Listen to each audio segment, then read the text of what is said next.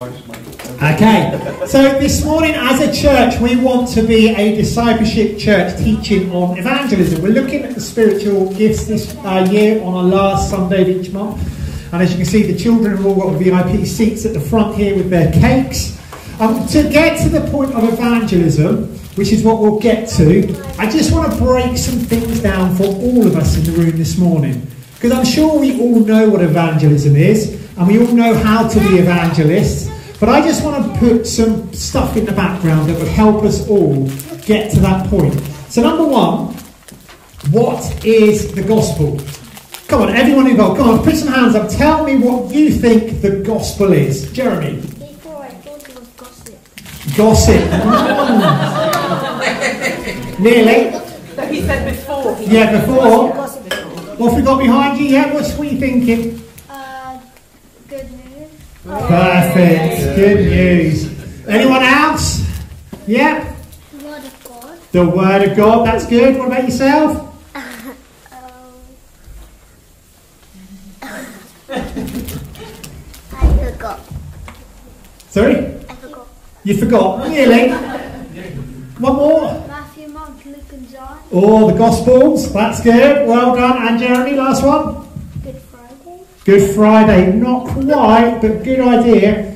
You see, the Gospel is the good news. Gospel songs, we praise to God or Jesus, the greatest love story ever told, and the story of Christ's birth, resurre- uh, death, and resurrection, all told in the Gospel books. Now, Elim is actually, I think Teresa mentioned it earlier, which is really good because we haven't even talked about it. Elim is a movement, and it, it is called the Elim Four Square Gospel Alliance. And the question is, why is it called the Four Square Gospel Alliance? Well, it's because Elim and Elim churches and Elim pastors and people who are part of Elim Church believe in four key things. Number one, that Jesus is the Saviour. Yeah. Number two, that Jesus is the baptizer in the Spirit and in the flesh, i.e., water baptisms. We also believe that Jesus is the one who heals. Yeah. And we also believe that Jesus is the coming King. They're the four key things that Elim uh, are, are believing and we agree with here as a church. So John 3.16, I'm going to whiz through this this morning, okay? I'm not going to spend hours on stuff because we could spend days and weeks preaching this. I'm just going to whiz through some key points. So what is the gospel? John 3.16, for God so loved the world that he gave his only son, that whoever believes in him should not perish, but have eternal life. And C.S. Lewis said, The Son of God became man so he could enable men to become sons of God. Um, N.T. Wright, a famous theologian, said, The gospel is the royal announcement that the crucified and risen Jesus, who died for our sins and rose again according to the scriptures, has been enthroned as the true Lord of the world. When this gospel is preached, God calls people to salvation out of sheer grace, leading them to repentance and faith in Jesus Christ as the risen Lord. So that gives us an idea of what the gospel is. So the gospel is the announcement that God's kingdom has come in life, death, death, and resurrection through Jesus, the Lord, the Messiah, in the fulfillment of the scriptures in the Old Testament. The gospel evokes faith, repentance, and discipleship. Its accompanying effects include salvation and the gift of the Holy Spirit. So that's what the gospel is in two minutes. Okay? Next question is what is an evangelical? Come on. Come on, anyone know what? Ah, go on then, Deborah. Someone who preaches the gospel. Someone who preaches the gospel. Yes, Nate? They go for evangel- evangelism. They go out in evangelism, yeah? Yeah, that's good. Was that a hand at the back there I saw? Just resting. what have you got, Jeremy? Man of God? Preach out the gospel. Preach out the gospel. Hmm. Okay, so I think you're all right. God didn't create, first of all, God didn't create us to compete with one another. He created us to complement one another. So when you look to the person to your left or right, go, I'm not in competition with you. I'm actually here to make you better. and you're here to make me better. Whoa. To be an evangelical, so we already know what the gospel is, children. Everyone's a child of Christ. What is an evangelical? Well, an evangelical believes in a lot of things. A lot, a lot of things. Some of it is actually irrelevant, if you ask me. Some of it is just religion. But the key five things that evangelicals believe in is one, that the, the Bible is the most important book that we have. And the Bible is truth. Okay? Number two is that Jesus is the Son of God. Now, you'd be surprised to hear that 45% of our country believes in the resurrection. What's the resurrection, Jeremy? Sorry, I sprung that one on you. It's the good news. Amen. The resurrection is when Jesus came back to life again. Easter Monday. Yeah. And yet, so 45% of people believe in the resurrection in our country, but only 20% of our country actually believe that Jesus is God. Interesting. We also believe that the cross took place, that Jesus died on the cross and rose again. We believe that conversion is required, that people have to be in a place of repentance, i.e., we have to say sorry, like Izzy got us all to pray this morning, that repentance prayer. We are sorry. I think Jeremy prayed it. Forgive us for our sins, and we make you our Saviour. That is conversion. And then the fifth one, which is often one that we forget, is activism. Activism means to go and share the good news with other people. That is what we are called as evangelicals to do. And we live in a country where our attitude to Jesus is changing. People still understand who God is, understand who the Holy Spirit is, but struggle to believe that Jesus is the universal Saviour. While the church and Christians still promote this, the world is looking for other solutions. Next one for you. What is a Pentecostal? These are tough questions this morning, aren't they? Go for it. Something to do with the Pentecost? Amen. Really good. You're on fire today. yeah, birds. Yes, go for it. Is it about Jesus or Jesus' disciples? Mm. Not quite, but you well, yeah, I suppose it is. Book of Acts 2. Yeah. Go for it. Oh wait, is it someone who's been baptized with fire? Oh, that guy is burning today. He's on fire. See, Pentecostals are effectively evangelicals, so evangelical people, but we also put a lot of emphasis on the Holy Spirit. Okay? And it comes from the day of Pentecost in the book of Acts, when the, the Holy Spirit came upon them and in them. Something which, generally speaking, beforehand the Spirit was around, but from that day the Holy Spirit was very much in us. And who gave us the Holy Spirit? Jesus did, because he said, I am leaving you, but I'm going to give you a gift far greater, uh, which will be there with you till the end of time the Holy Spirit. You see, we should be all, as Pentecostals, be in a place to be filled with the Holy Spirit. And one of the ways that we can often recognize that is through the speaking in tongues.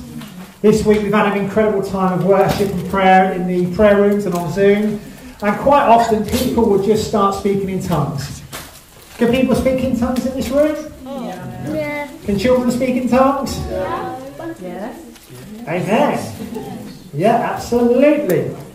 And also, we are very much believing in faith healings. Yeah, we believe that Jesus heals as well through the Holy Spirit. And again, I can go on. There's so much goodness of the Pentecostal and what it means to be a Pentecostal. But that's just to give us a quick oversight. So, first of all, we have the gospel, which is good news. Then we have evangelicals, who are people who are carriers of the good news. Um, and then we have Pentecostals, who are activists of the good news through the Holy Spirit working within us. Then, and this is all really important because once we understand those simple things, guys, we then understand how we can then start looking at what is evangelism. What's evangelism? Go for it. Baptism. Baptism. Interesting. Do you know that? When you tell people about God, When you tell people about God and Jesus. Yeah? Anyone else? Any scholars in the room would like to give me something that would blow my socks off this morning? Reaching out to lost souls. Reaching out to lost souls. That's really good. What I thought was walking with people into faith. Walking with people into faith. Good. Yep. So, Teaching people about the gospel. teaching people about the gospel. Really good stuff. Well done, everyone. You guys are on fire this morning as well. You know, the word evangelism, the English word evangelism, is rooted in the Greek word evangelon, which also means good news. So we are carriers and sharers of the good news. And I believe there are three key types of evangelism for us all to get into our minds today. Number one is internal evangelism.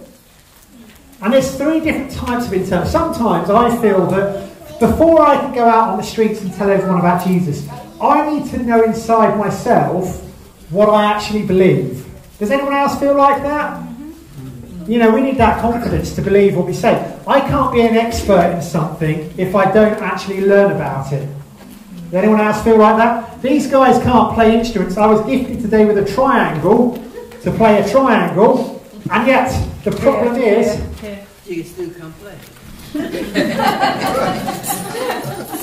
the problem is, let's be honest, how does one play a triangle? not like that. Isn't that great? Ah, there's some great YouTube videos of triangle playing. But isn't that sound so much better Yeah. when you're in tune? I want to try. I want to try. I want to. I better not because I'll get told off. Um, you see, when we learn how to do something internally, that really then helps us have the confidence to go and share it externally. Now, there's three ideas eternally. One day, uh, there's three beliefs. One is that we have to understand the idea of what evangelism is, i.e., beliefs are based on experiences and worldviews. The second thing that we have to process is the images specific pictures and memories that we have gained about sharing evangelism. And then thirdly is feelings. What are our passions and our desires about Jesus? So number one, what is our idea about Jesus? Number two is what is our image about Jesus? And number three is what is our feelings about Jesus? And spiritual transformation only happens as each of these dimensions transformed into Christ likeness. Now, let us look. Has anyone got a Bible with them this morning who wants to read out? Anyone good at reading? Anyone else other than Jeremy?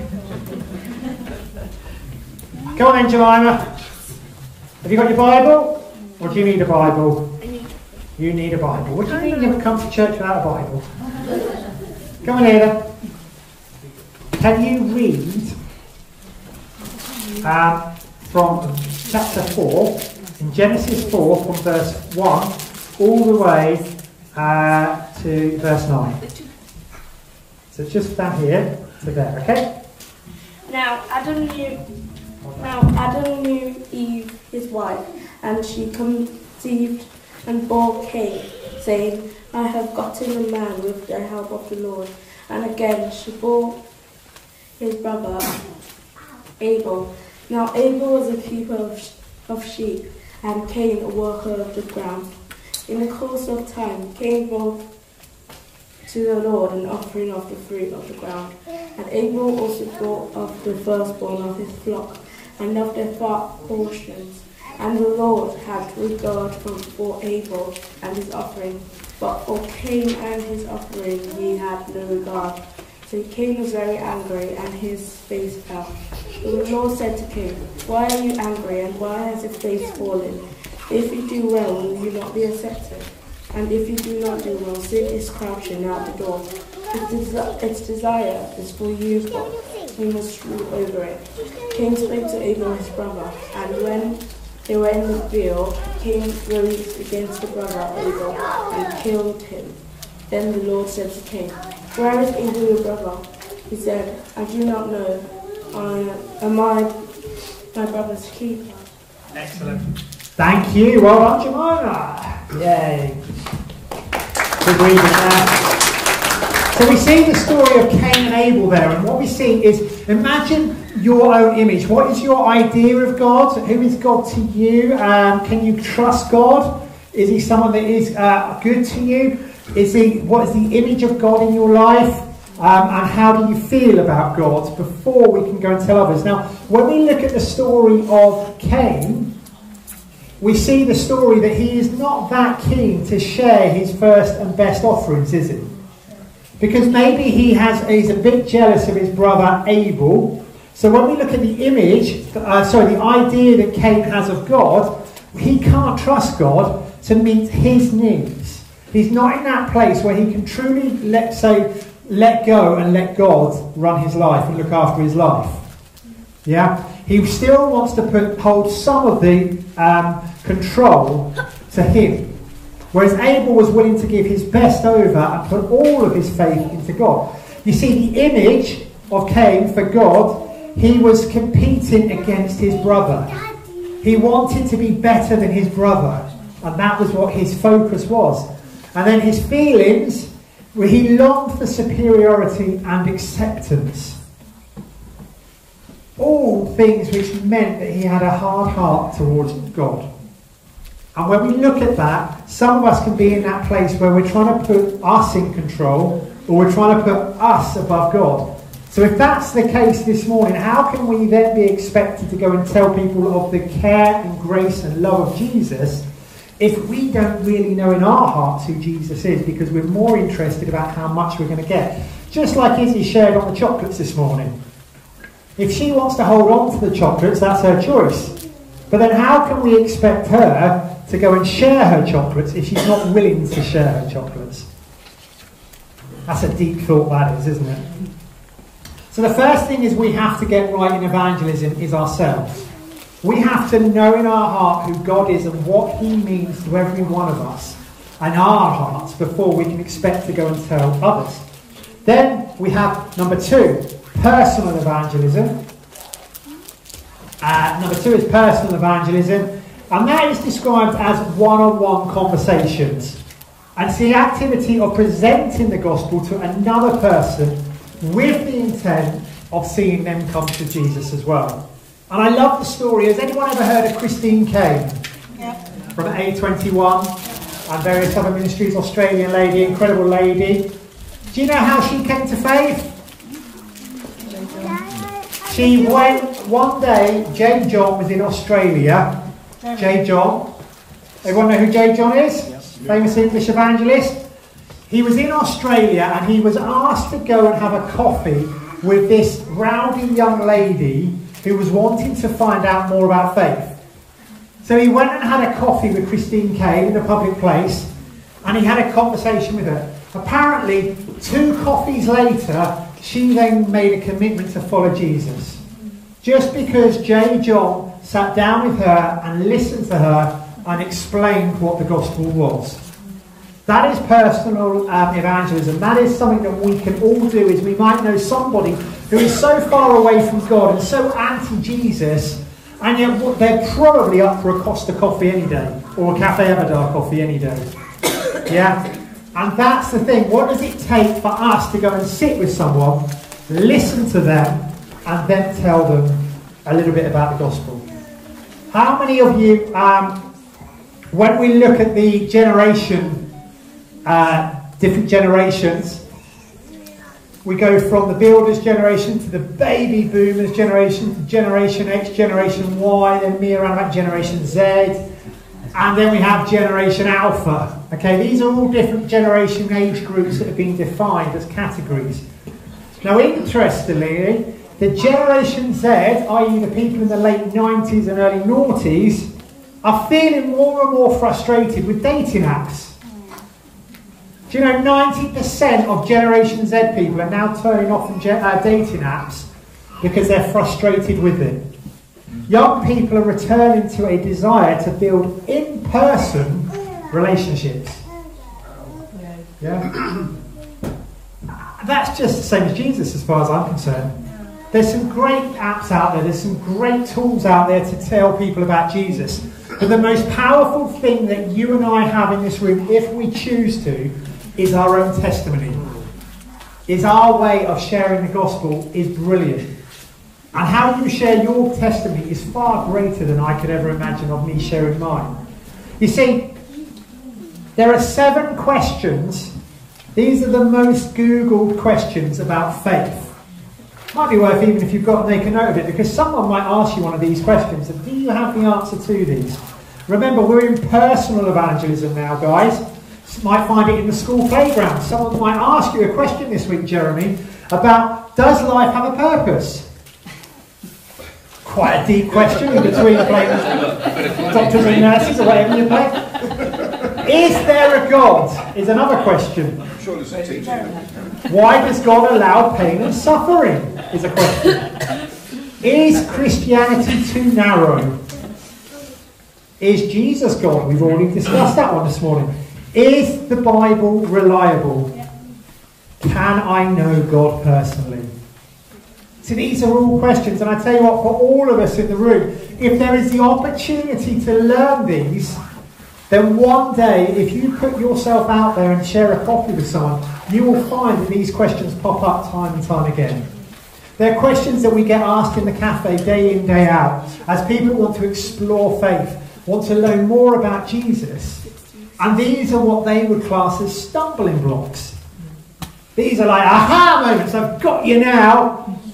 Christianity's too narrow. It doesn't allow for everyone to do what they want, does it? Boom. What's your answer to that, Jeremy?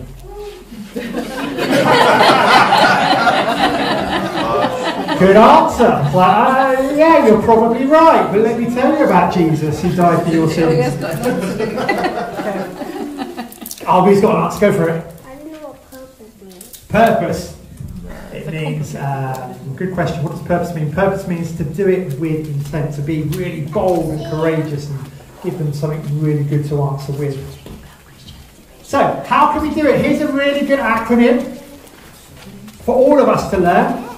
So, when you are out doing personal evangelism, how many of us believe we've got two mouths and one ear?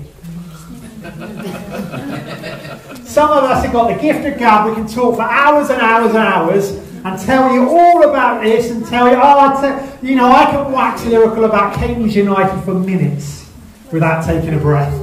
And you guys would be so inspired about my love of football and for Cambridge United that you would all start following Cambridge United tomorrow. the chances are you wouldn't, would you? Because some of you want to support other teams.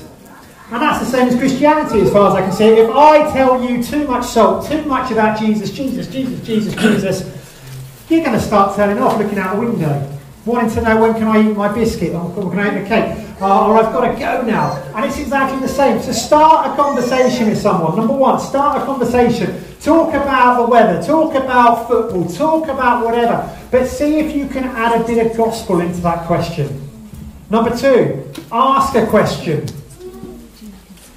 I wonder if Jesus was alive, which football club he would support. You you are Manchester.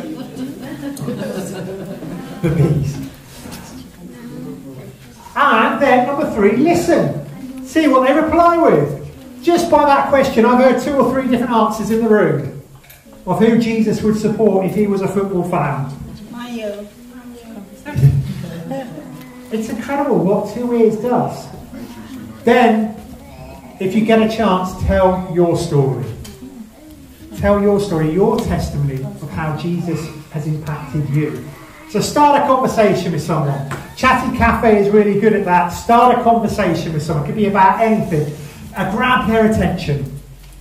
Grab, a, grab their face, grab their view, grab whatever it is that is in them at this moment and just give them the eye contact to listen. Ask the question. Listen to their answer. Tell your story.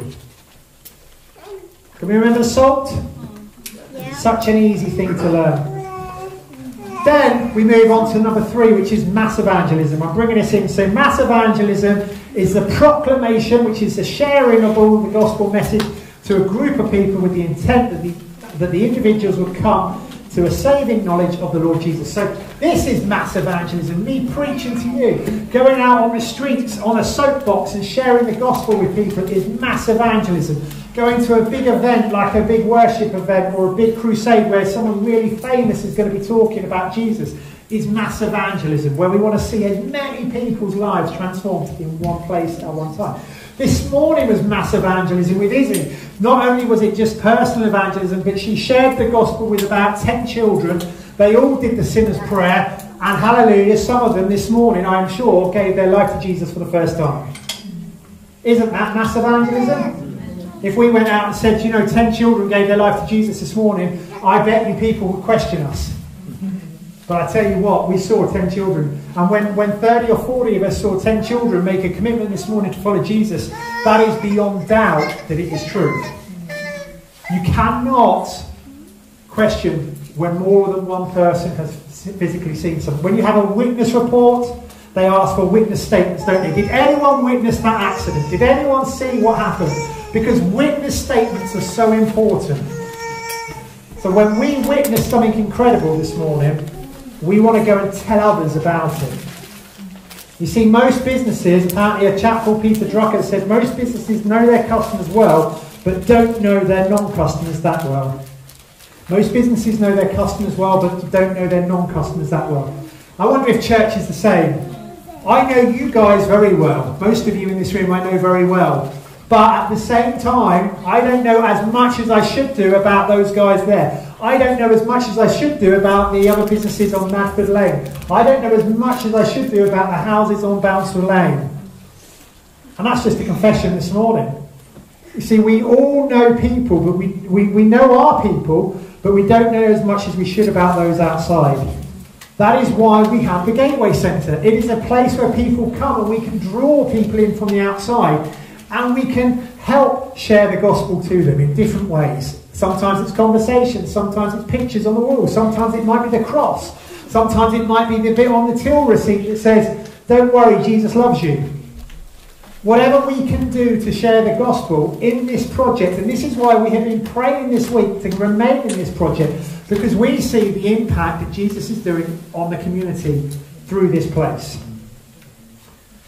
Mass evangelism in all of us will lead to personal evangelism which then leads to internal evangelism.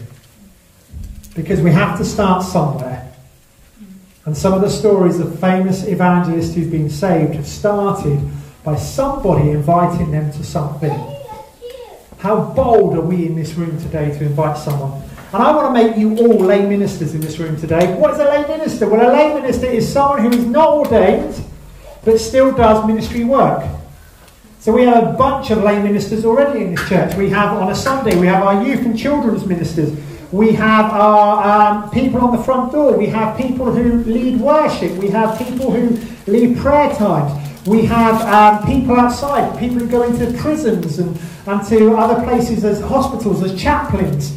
They are lay ministers. We have evangelists who go out on the streets. They are lay ministers. We have missionaries who are, um, we have sometimes, we have missionaries who come here. We have Keith who comes here. We have Sham and uh, her husband a few months back. We have minis- uh, missions. We support Roy and Laney in Hungary. We have missionaries who go out and share the good news in other places. We have pioneers, people who want to go and start new projects. These are all lay ministers. But I proclaim and I speak over every one of us in this room today, we are all able to be lay ministers this week. How can we be lay ministers? Three simple things. Jeremy, number one, let others know you go to church. Can we all do that? Number two, let others know that you are a Christian and it means something to you.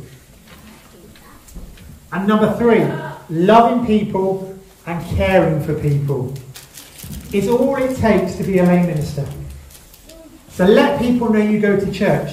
Let others know that you are a Christian and it means something to you. You don't just go to church because you have to or you're forced to, but you like going to church because they do good things in church and it makes you feel better. And then love people. Remember your SALT acronym? acronym? Remember it? What was SALT representing? Start, go. Sorry? Start the conversation. Start the conversation. Ask the question. Listen and tell the story. See, we can all do that, can't we? And then this leads to other conversations. So I anoint you all as lay ministers in this place today to go out and start a conversation with someone this week. Who fancies a little bit of activism now? Mm-hmm. Right. Matthew 28, 19, 20 says, Go forth, therefore, and make disciples of all nations, baptizing them in the name of the Father, the Son, and the Holy Spirit, teaching them to observe all that I have commanded you, and behold, I am with you always to the end of the age. Right, we're going to do some activity now. Who is bold and courageous in this room?